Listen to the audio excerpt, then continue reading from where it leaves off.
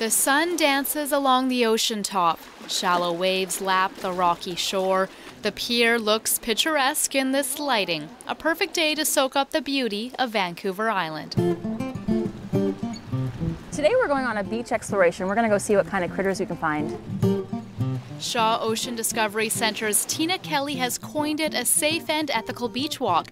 Basically, it means safety for both us as the beachgoers and for all critters we may see along the way. Tide pools are great places to look for different organisms. Um, sometimes you have to have a very good eagle eye and look a bit under the rocks in the shadows. We have a bit of a low tide today, not low enough to spot a sea star, but we did discover a few bugs, a mossy chiton, some limpets, a whole whack of seaweed, baby sea anemones, and a few other tide dwellers. Here's a, a living barnacle versus a dead one. As you can see its shells are closed up. If the water was covering that, it would be open and it would be eating.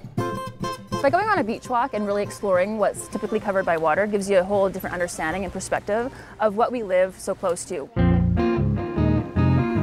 But Tina warns this luxury will only last as long as we're caring for our oceans. So we want to remember to reduce, reuse, recycle, um, repurpose, upcycle, all those kind of catchphrases that we might hear out and about. She says it's the simple tasks that go a long way, so picking up litter, practicing sustainable harvesting, avoiding harmful fertilizers, and keeping chemicals out of the drains. I think uh, we've done an awful lot of uh, damage that I don't think we even understand how much damage we've done.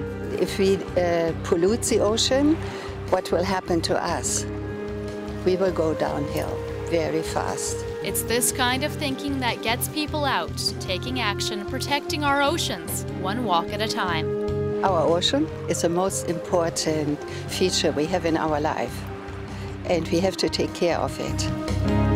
If the beach is too much of a stretch for you, the Shaw Ocean Discovery Center has an indoor touch pool that replicates the Salish Sea's intertidal zone.